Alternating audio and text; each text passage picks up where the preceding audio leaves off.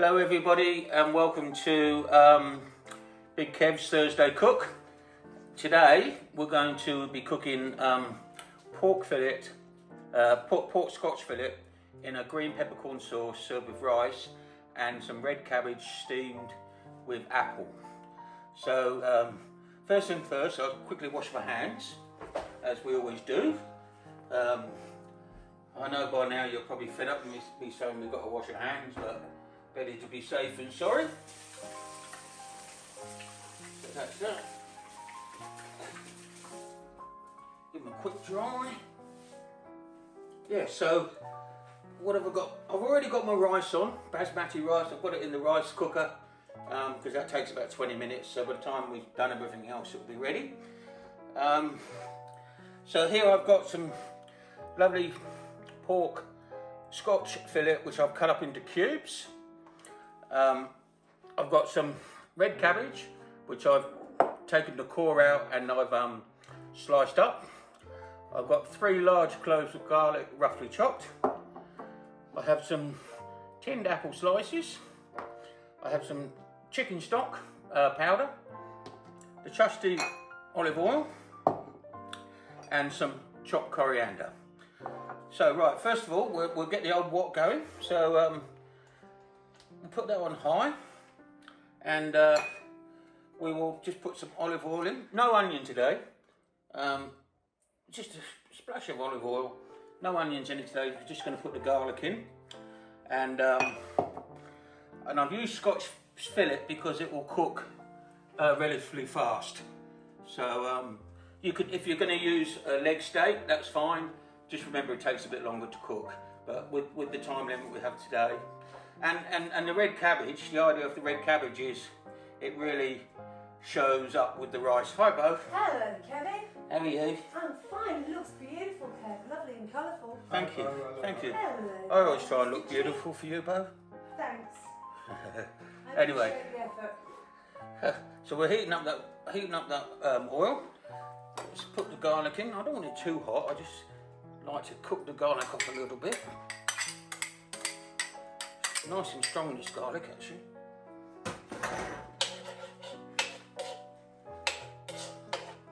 And now start coming up to um, fry slowly. So I just want to I just want to soften it more than anything, just to get the flavours out. You don't want to make it brown or anything like that. So, the sponsor for the garlic today is it uh, Mr. Potter? Yes, well, knowing that he was coming, I thought I'd have garlic with everything, uh, including the cream custards. Mm-hmm. Yeah. Yes, no, our Dave likes his garlic. Yeah, you can see I've chopped this uh, uh, Scotch fillet up into about oh, two centimetre cubes. You can cut it into strips, cut it how you like, but it will cook fairly quick. So here we go. It's beginning to fry now. The, the, um, the garlic.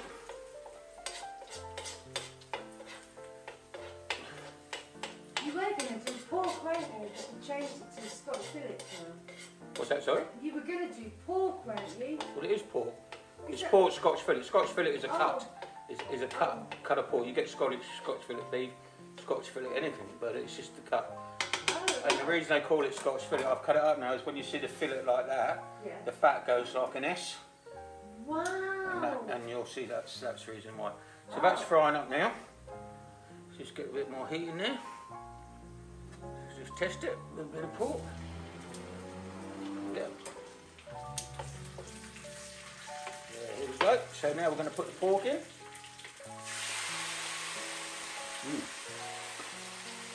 Sizzle. sizzle. Um, now just toss this pork through the garlic. You just want it to get a nice colour on it.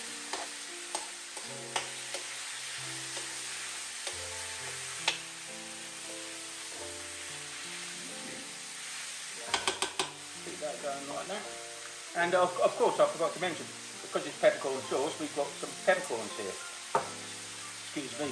So, um, they're the essential part of the dish. So, just in the fridge store, there's some cream. Could you get it out for me? Yeah. 600 mils of cream.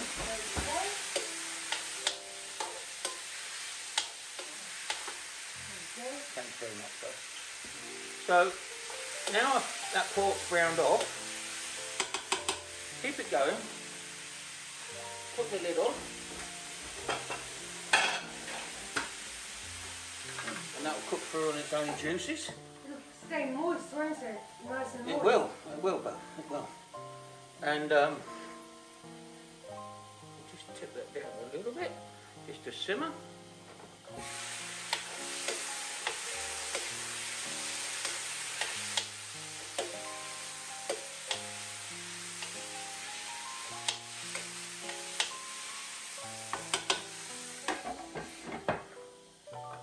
Now while that's cooking, I'm going to go around to the stove uh, because we're going to do the cabbage.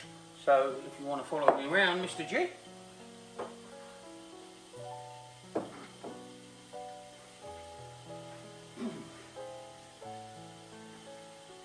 So now in, in this pan, uh, so just a medium-sized saucepan, put some heat on. I want to put some, gain some olive oil. Oh, probably about a dessert spoon, maybe a little bit more. Get that hot.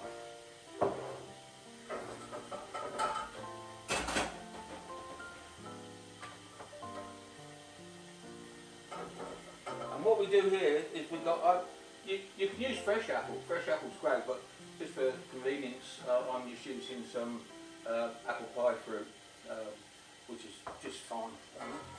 So we're getting this heat going.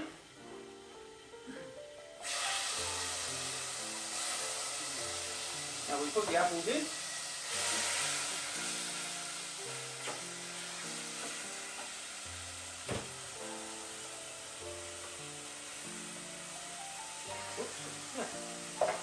apples in. Fry them around.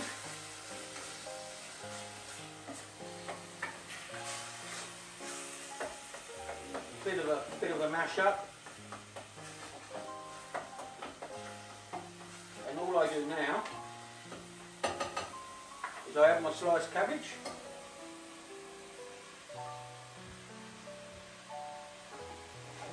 And probably half a cup of water. Give that a bit of a mix. And all this will do is bring the flavour of the apples through the cabbage. And the reason Apples because we're having pork. Lovely. So I'm going to put that on there. And we'll put a lid on like that. Turn the heat down. And we'll go back to our pork. Smells good. Mm.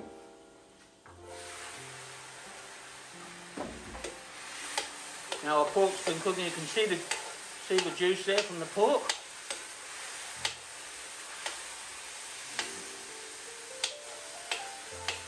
Now what we do here, I'm going to take some peppercorns, and all you do, just tip some of that brine off. Get a spoonful of peppercorn, two teaspoons, depends how hot you want it. Hmm. And we put them in, but what we do is we crush them with the back of a spoon.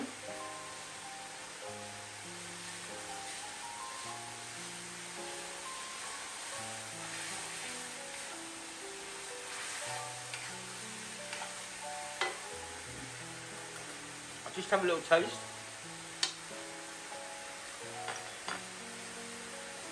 Nice heat. Hmm, I think I'll put a little bit more in. But I quite like a bit of heat and it's a different flavour. It's not like a hot hot, it has a distinct flavour.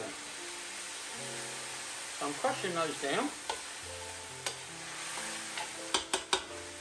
And then I'm going to add my cream.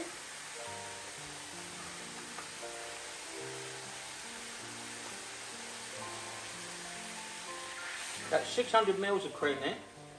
Might seem a lot, but we're going to reduce it down. So that's in there. Beautiful. So um, we'll reduce that down a bit. So we need to bring the heat up. Excuse me, just stand down for a minute. Get a bit more comfortable. Um, So just just watch you don't burn the cream. So as soon as it comes to the boil, just turn it down a bit, and uh, we'll let that get down a bit.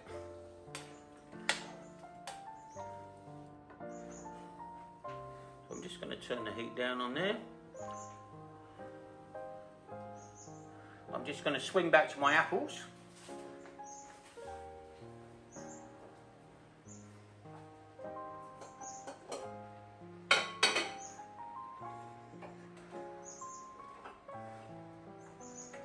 Uh, again with cabbage, I, I don't like cabbage overcooked. I like it to be um, Al dente. yeah, crisp, al dente.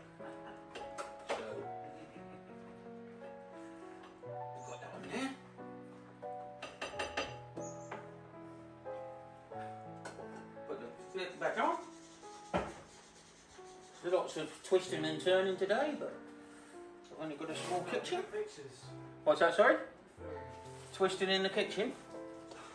The peanut gallery is getting restless. Yes. Getting hungry, aren't?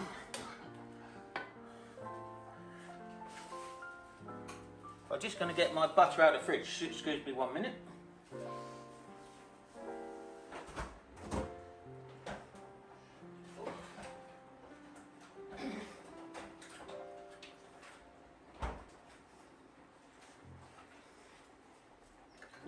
Butter. This is unsalted butter. Um, we use butter when you use cream to, to thicken dishes. But before I put it in, I just want to put some some uh, chicken booster, chicken stock, dry powdered. So that's one teaspoon, about two teaspoons. Give it a bit more of a stir.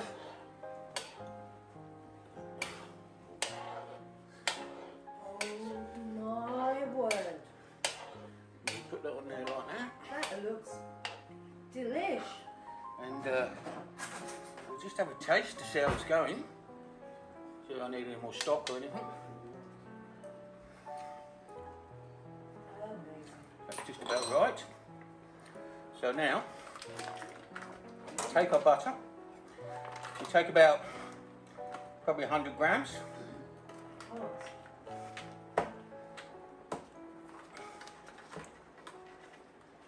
And what we'll do is we'll cut that in half first. And we'll put half of that in. That's rich, Kev. It's very rich and it'll be very expensive. Leave your money at the door.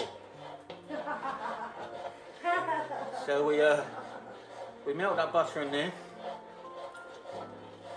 And the reason I've used unsalted is because the um, the stock powder's very very salty. So this will just reduce it down. And uh,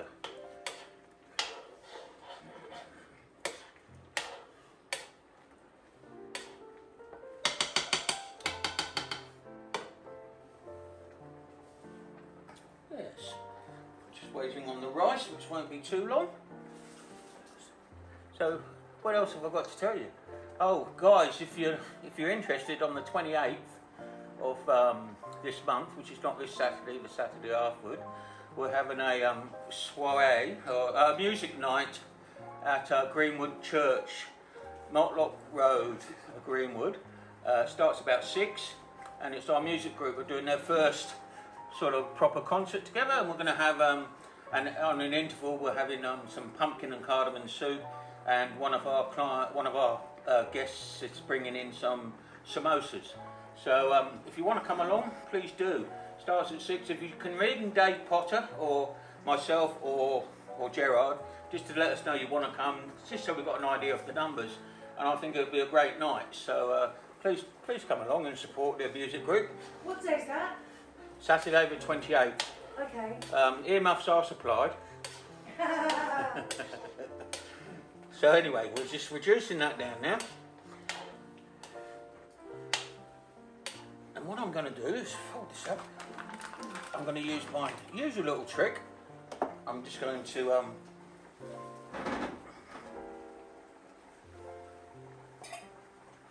get my bowl. a little bit of corn flour, the old starch,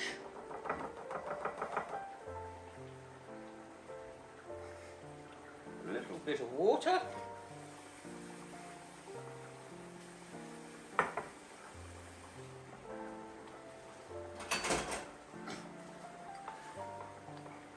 and mix that in. You know, I could sit here for hours and reduce that right down, but um, this is our way of quickening things up. You can see it's getting thicker as we go anyway, so, so I'm just going to add a little bit of corn flour into there. Get a nice creamy consistency. Even if it wasn't thickened, it could still be nice, wouldn't it? Yeah, but you, you want your sauce to be sort of coat the back of a spoon, they say, and you can see that that coats Yeah. the back of a spoon. Alright. So turn that off the heat. Put that there. Put the lid on. Let's make ourselves a bit of clear way here. I'm just going to get my cabbage, bring it over.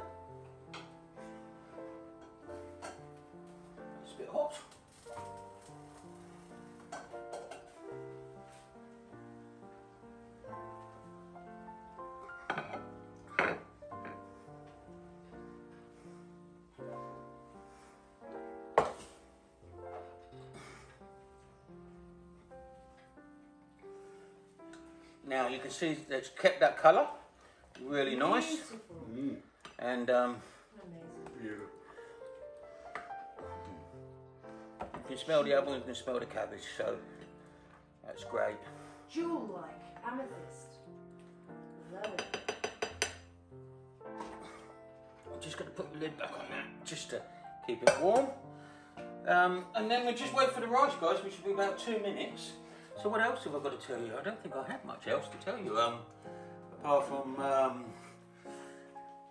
everything's going fine. We had a nice meeting on Monday. We had injury matters come to our coffee morning, uh, blokes morning, and discussed anxiety after accidents. And uh, I think it went down very well. So uh, if you, that's another morning. If you missed, please come along. And um, right now, I'm going to get my coriander. I'm going to take my lid off.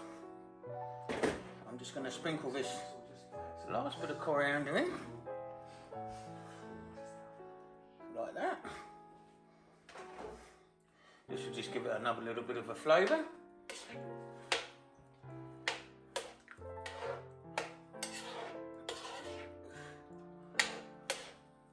How's the feedback about these, these videos you've been making? These, Uh, pretty good. We get quite a good following and uh, yeah? A lot of support workers use it, so that's yeah? good. Anybody been told you that they've followed you and done the meals themselves? I think so, yeah. Um, Oh, we do get a bit of feedback. that's good. So right now, let's get ready for this. Uh, on my tongs.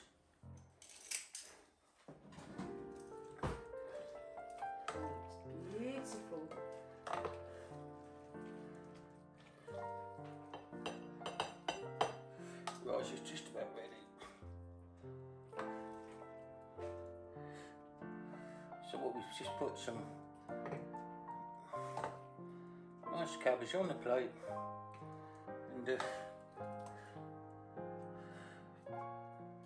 like that. Such a beautiful purple. Yeah, red cabbage or it's funny they call it red when it is purple. But, uh, that's that. Let's put this back over here. Expecting this rice, as you see, go click in a minute now. It's been on 20 minutes, as usual. It takes its time, but it was turned on. We are we've been watched by the sous chef. Yes, yes, yes, the rice cook. Our Dave's here. He's the uh, supremo with the rice. Uh, who else is there? Mike, have you shown them on our picture there, uh, Gerald? Just to show that they are here. They're not really Muppets. You know? Um, I had to tell them off because they were talking. oh, well. I bet, they took a lot of notice of that as well. Right.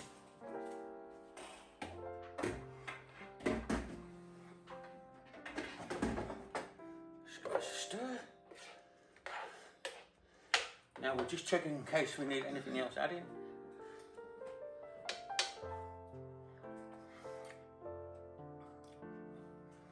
Very good.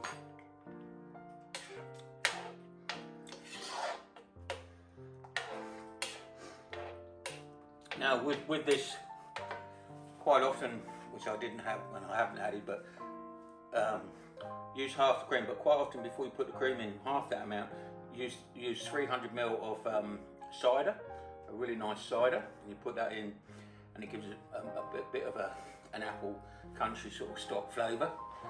That, and then again, like I said, with the um, with the cream, only half. Reduce it. The longer you reduce it, the thicker it is. Our rice is now cooked, so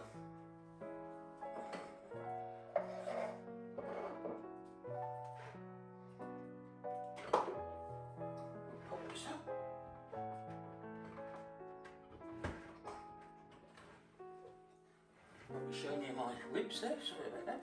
Not really can see my ribs. It's not an X-ray camera, Kev. Uh, anyway, rice on.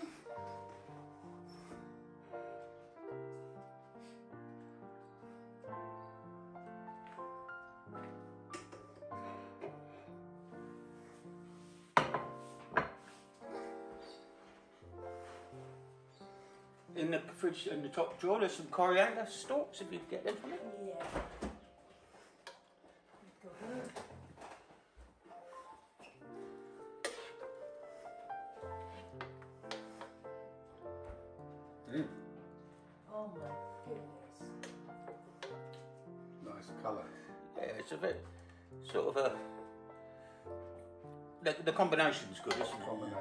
This, I've already washed this coriander because I used it to be chopped up, and all I'm going to do is take up sprigs and uh, and uh, just for a final bit of decoration, I suppose. There we go. We'll just put something on there like that, and uh,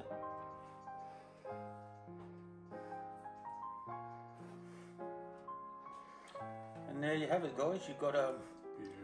A lovely um, pork, pepper, um, creamed rice, and apple, inf- uh, cabbage infused with apple. Enjoy. Catch you next time. See you. Bye bye. Say bye bye. Bye, everybody. That's-